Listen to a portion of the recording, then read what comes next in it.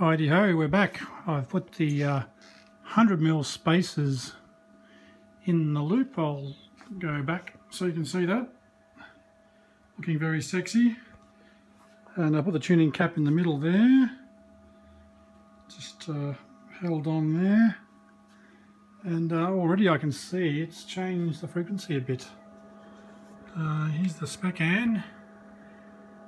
And uh, Let's see what frequency that is.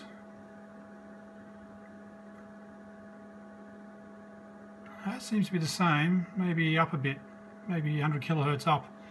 I'll tune the cap now. The cap's at maximum capacitance at the moment, which is uh, 600 PF. So I'll crank that now.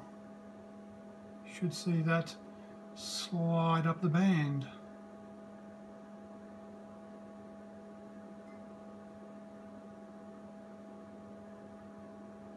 And that's about maximum, sorry, minimum capacitance about there.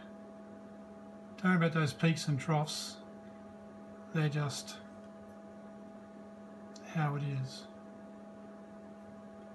That's my finger touching it. Alrighty, let's uh, tune into that, see what we got. It looks a bit higher actually, or wider. It's like 13.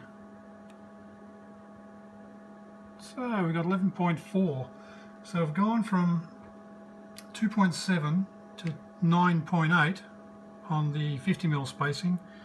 This one is 100 mil spacing. We've gone from 2.8 to 11.4. So it's given us about a megahertz higher, which is quite handy to have.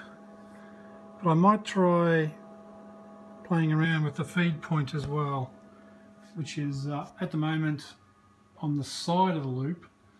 I might space that in the middle. Sorry about the light.